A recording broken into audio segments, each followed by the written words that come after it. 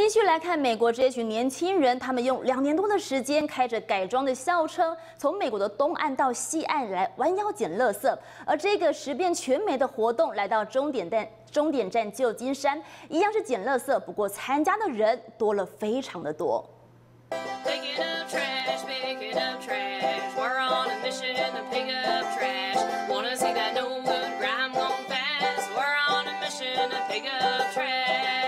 捡垃圾听起来很简单，不过这六个年轻人捡的可是全美的垃圾。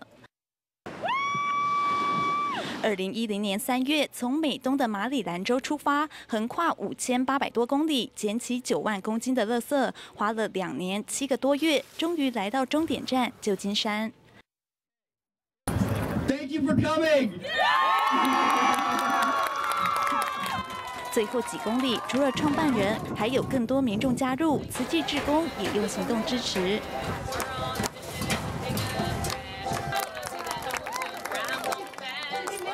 And while you're going, feel free to make up your own chants about how we're going to make a more positive world. Pick up America is about solutions, not about pointing at the problems.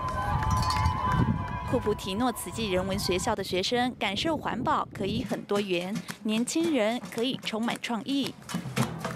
Hey, it works. They can do it. So when your kids come to you with their dream, with their passion, the answer is okay. Go do it. 年轻人有创意，更有实践力，用捡垃圾捡出社会对环保的意识。大爱新闻真善美之光，美国旧金山报道。